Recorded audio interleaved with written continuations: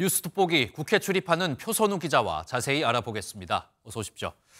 표선우 기자, 일단 이 오늘부터 공식 선거 운동이 시작이 되잖아요. 거리 풍경이 좀 많이 달라질 것 같습니다. 네, 일단 가장 달라지는 건요. 마이크를 사용할 수 있습니다. 지금까지 후보들 마이크나 확성기 사용하지 못해서 여야 대표는 물론이고 너나 할 거 없이 목이 쉴 만큼 소리를 질렀는데요. 또 마이크를 잡고 무심코 선거 운동성 발언을 했다가 선관위 경고를 받은 후보도 있었습니다. 오늘부터는 마이크를 동원한 유세가 가능한데 다만 오전 7시부터 오후 9시까지만 가능하고요. 육성 연설과 녹화기는 소리 없이 화면만 표출하는 경우에선 밤 11시까지 가능합니다. 거리 풍경도 다채로워집니다. 선거 벽보도 전국에 게시가 됐고요. 이보다 먼저 각 지역엔 홍보 현수막도 걸렸습니다. 각 당의 로고송과 선거 사무원들의 율동도 볼 수 있습니다. 이제부터는 우리가 생각하는 그 선거 분위기가 좀 본격 시작된다고 보면 됩니다. 네, 오늘이 뭐 공식 선거운동 첫날인데 이 첫날에 또 상징성이 있잖아요.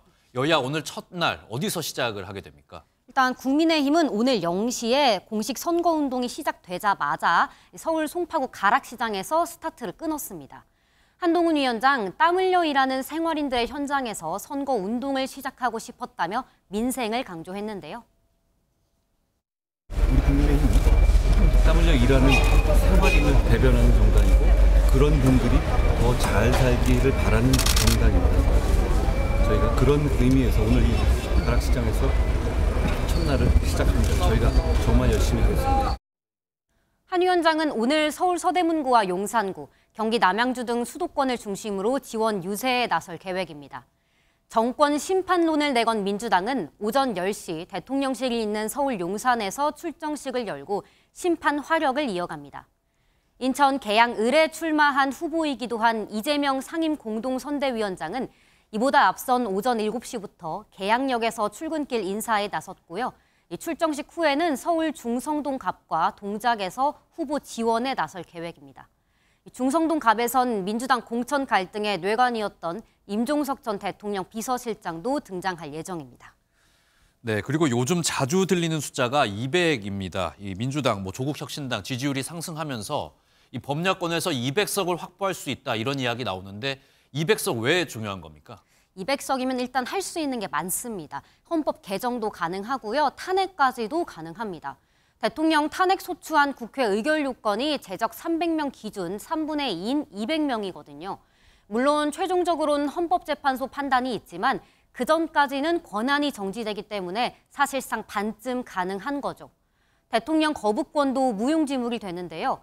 민주당은 앞서 김건희 여사와 50억 클럽 등 쌍특검부터 이태원 특검, 양곡법, 간호법 등 본회의에서 법을 통과시켜도 거부권이 행사되면서 실패했었죠.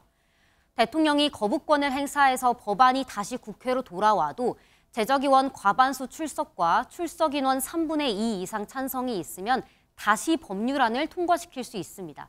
그러니까 200석이면 아무리 거부권을 행사해도 국회에서 다시 통과시킬 수 있다는 얘기죠. 정부 여당 입장에선 어떻게 보면 거부권이 최후의 보루였는데 이게 사라질 수 있다는 겁니다. 민주당이 최상병 특검 등 다른 특검을 예고한 상황에선 200석이 실현되면 여당 긴장할 수밖에 없습니다. 이재명 위원장 200석은 허위 주장이고 여권이 위기의식을 주장해 역결집을 하고 있다며 낙관론을 경계했는데요. 헌정사에서 200석은 나온 적이 없었던 만큼 정치권 안팎에서는 실현 가능성은 그리 크지 않다는 분석이 많습니다. 네, 오늘 말씀 여기까지 듣겠습니다. 지금까지 정치부 표선우 기자였습니다.